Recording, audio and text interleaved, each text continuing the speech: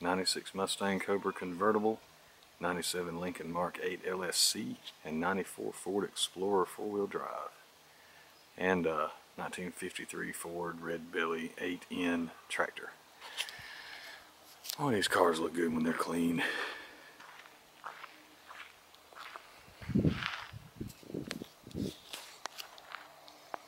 The Explorer has a 4 liter 160 horsepower overhead valve V6, 4 speed automatic transmission and 4 wheel drive with low range.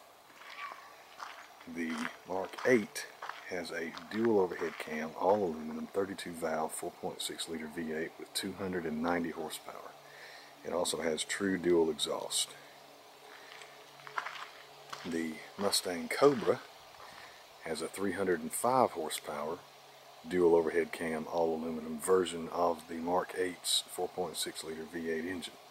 It has a 5-speed manual transmission. It is a seriously nice car.